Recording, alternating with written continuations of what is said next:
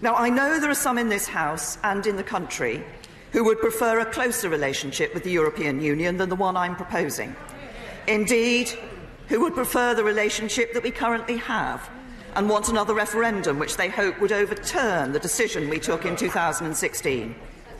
Although I profoundly disagree, they are arguing for what they believe is right for our country, and I respect that. But the hard truth is that we will not settle this issue and bring our country together that way. And I ask them to think, I ask them to think, no, I ask them to think what it would say to the 52% who came out to vote leave, in many cases for the first time in decades, if their decision were ignored. What would it do to our politics? There are others. I say to honourable members, I will take a significant number of interventions, but I will make some progress at this stage.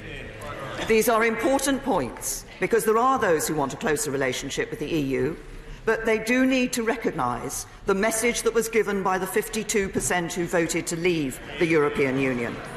There are others, there are others in this House who would prefer a more distant relationship than the one I'm proposing. And although I don't agree, I know they're also arguing for what they think is best for our future, and I respect that too.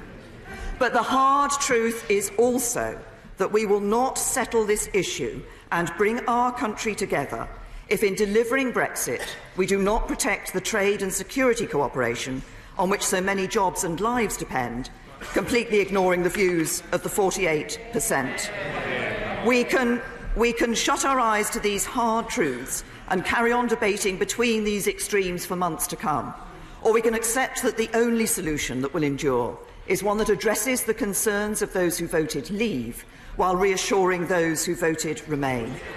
But this, I will take, I will take a number of interventions in a minute when I've just finished this.